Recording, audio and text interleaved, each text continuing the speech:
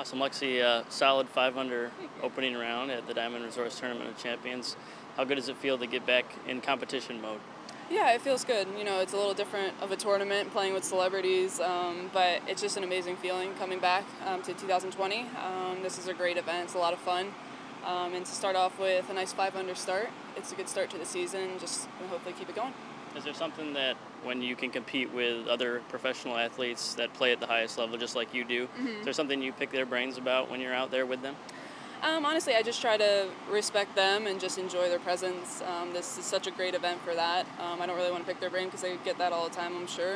Um, you know, I just want them to go out there and enjoy themselves, and I think that's what this tournament is all about. We want to take it seriously, but at the same time, I want to enjoy being around some of the best athletes that have been in the game or in their sport. What is it about this course that sets up to your strengths?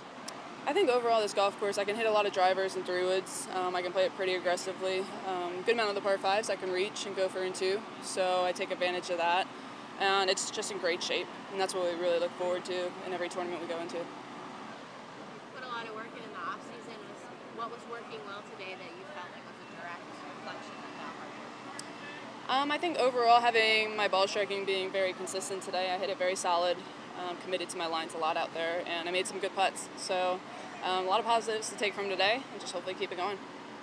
Did Larry pick your brain at all? um, he asked me like one or two questions, but really not much of anything. Um, we just really had fun out there, enjoying enjoying ourselves and just saying good shots and just feeding off each other. What did you make of his game? Huh? What did you make of um, I was impressed. Um, he had a lot of irons off the tee, but uh, but he had an amazing short game. Um, I was very impressed. He had great touch around the greens and rolled it very well. Any theme for this year Anything new about the way you want to approach things? Really, I'm just going into this year trying not to get too down on myself with my game. I'm just I've put in the work in my off weeks and in the off season, and I'm just going to go into every tournament you know, knowing that I put in the work and just letting my game show um, that I've put in the practice. And, you know, if I struggle and have a bad day, I'm just, I'm not going to let it get to me. I'm just going to try to have more of a positive outlook on life.